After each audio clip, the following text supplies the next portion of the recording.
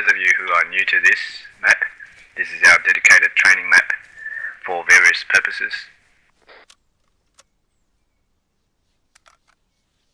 Alright, let's look down the sight of this ARCO.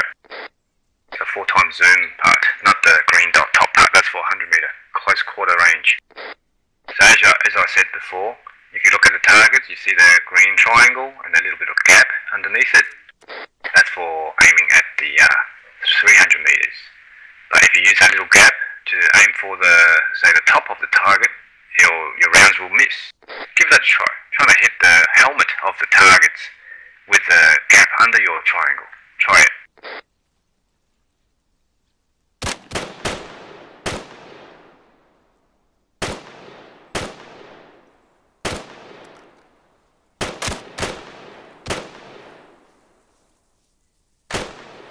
See?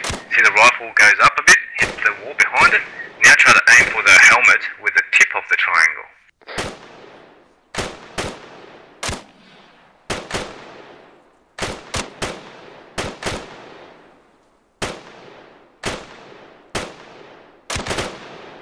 Yeah, you see what I mean? You can lie down probably s- less way.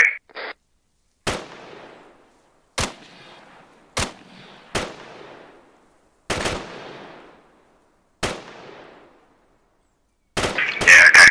Alright, all, all members cease fire. So that's what I meant earlier.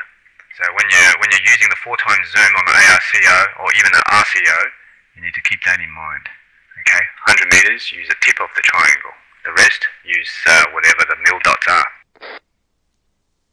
Okay. Let me see the manual again.